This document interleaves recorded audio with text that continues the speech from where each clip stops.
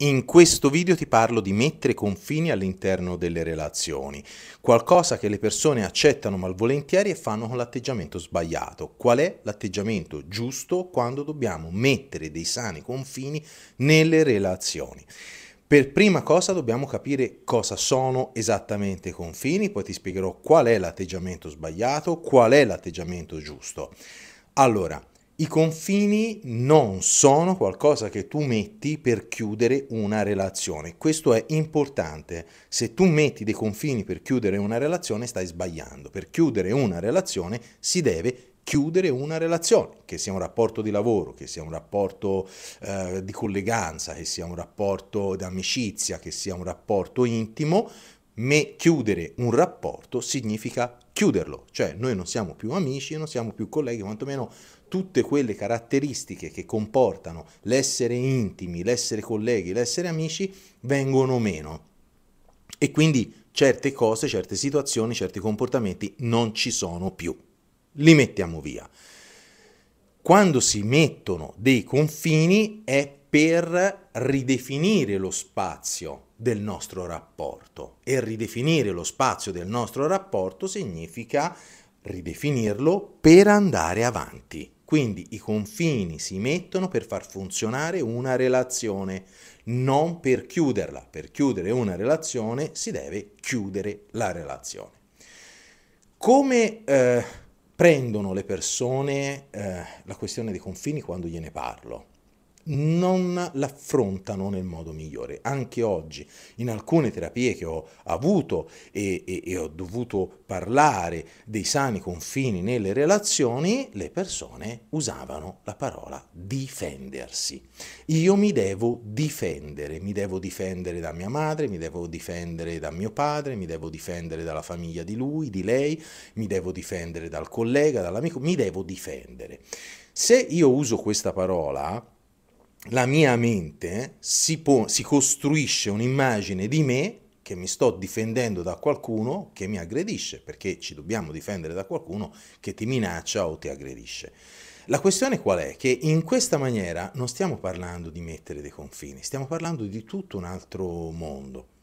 Il fatto è che se io interpreto il confine come difendermi, quello che succede automaticamente è che io mi pongo in una situazione di inferiorità, di sudditanza, di eh, fragilità, eh, in una situazione di difficoltà. C'è qualcuno che ha più potere di me da cui mi devo difendere. Io che ho meno potere mi dif- devo difendere da qualcuno che ha più potere.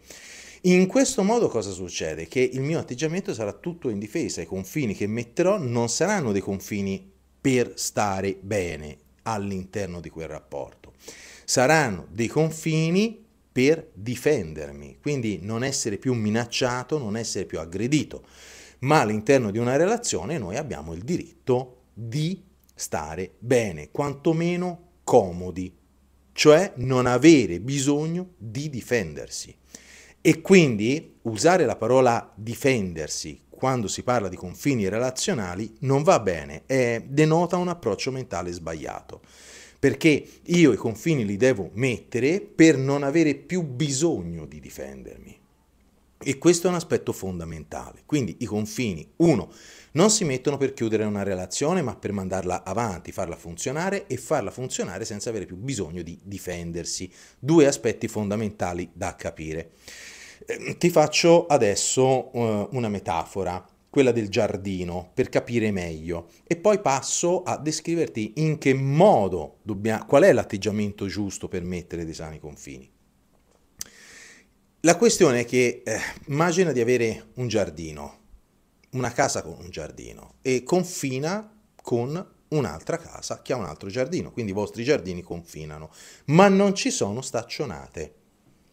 Bene o male sapete quali sono i vostri confini, ma non ci sono le staccionate. Ad un certo punto il vicino mette una sdraio nel tuo giardino. Come fai a sapere che è esattamente il tuo giardino? Perché mentalmente hai un'idea di come è fatto questo giardino e tu vedi quella sdraio troppo vicina alla tua casa, all'interno di quel confine mentale che tu hai Di conseguenza diventa importante col tuo vicino mettere un confine, una staccionata, per far sì che lui la sdraio la metta nel suo giardino, non nel tuo giardino. Nel tuo giardino sei tu a mettere la tua sdraio e hai tutto il diritto di farlo, come ha il diritto quella persona di mettere una sdraio nel suo giardino. Le persone, interpretando quest'idea dei confini come una forma di difesa, si pongono come se fossero state minacciate. E questo facilita il conflitto. Questo è un aspetto molto importante. Se io mi pongo nell'ottica di essere minacciato, mi sto anche ponendo nell'ottica di essere già in conflitto con questa persona, perché sono nell'ottica e questa persona mi sta minacciando in qualche modo. Ecco, quando io dico di mettere dei confini, intendo dire che cosa sei disposto ad accettare e cosa non sei disposto ad accettare nella tua relazione con quella persona. Quali sono i comportamenti, i gesti, le parole che sei disposto ad accogliere e quali no. Ponendoti in quest'ottica, che nella metafora sarebbe un po' come dire eh, dove sei disposto ad accettare di buon grado la sdraio del tuo vicino di casa, eh, qu- quando è che, dove deve mettere la sdraio affi- affinché tu, anziché pensare che abbia invaso i tuoi confini, pensi, ma guarda, bravo, si è messo la sdraio per prendere il sole e stare comodo, e magari fargli pure un complimento, dov'è che devi mettere, quel, dov'è che deve mettere quella sdraio affinché tu abbia un atteggiamento più disteso, più rilassato, anche più positivo nei suoi confronti? Ecco, per farlo in, un, in, in ambito relazionale, quindi non nel tuo giardino, è necessario che ti poni questa domanda. Cosa sono disposto ad accettare e cosa non sono disposto ad accettare? Questo è molto importante perché a questo punto non sei più nel difenderti, ma sei nel delimitare il tuo spazio.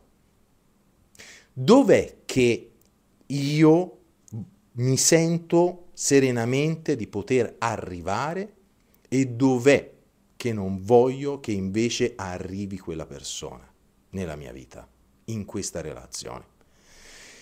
Ponendoti in questo modo, quello che stai facendo è di dover fare un lavoro su di te, perché nel momento in cui tu sei a difenderti, stai ancora ragionando con il focus sull'altro e sui comportamenti dell'altro e la libertà dell'altro e quello che fa l'altro. Se invece ti poni come ti ho appena detto io, il focus deve stare su di te, quali sono le cose che io sono disposto ad accettare e quelle che non sono disposto ad accettare. Quindi mettere dei sani confini diventa un'occasione di crescita personale per definire se stessi nel, eh, nella nostra metafora, definire i confini del tuo giardino. Quindi Cosa, quali sono i comportamenti che sono disposto ad accogliere e quelli che non sono disposto ad accogliere in modo da definire meglio me stesso? Avrai notato che in alcuni rapporti alcune persone sono estremamente precise in questo. Tu dici qualcosa, fai qualcosa e immediatamente puntano il dito su quella cosa che tu magari consideravi assolutamente eh, superficiale o trascurabile. Sono persone che hanno chiarissimo in testa dove stanno i loro confini, che siano eccessivamente ampi o che siano molto ristretti, non è oggetto di questa discussione. La questione è che sanno esattamente dove puntare il dito perché conoscono esattamente i loro confini. Questo è l'atteggiamento. Io devo conoscere esattamente i miei confini, quali sono le cose che sono disposto ad accogliere, quelle che non voglio accogliere, dove mettere i miei confini, delimitare il mio spazio personale, il mio giardino, che è il luogo nel quale io mi sento di muovermi pur confinando con la casa degli altri, ma in tutta libertà, sentendomi a casa mia, quindi sentendomi tranquillo, al sicuro.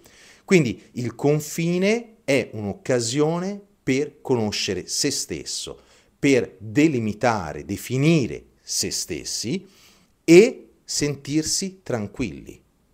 Questo è l'atteggiamento, il mindset corretto quando si devono definire i confini. Ora, che cosa succede quando tu non definivi i confini e ad un certo punto invece inizi a delimitarli, quindi inizi a definire te stesso? Succede che eh, col tuo vicino discuterete del fatto che eh, in realtà quel confine è 10 cm più avanti o 10 cm più indietro. Ecco, ti troverai ad affrontare questa discussione. Ma è una fase transitoria che è assolutamente necessaria perché serve proprio lì a mediare quelle che sono le regole del vostro rapporto. Fammi sapere se questo video ti è stato utile.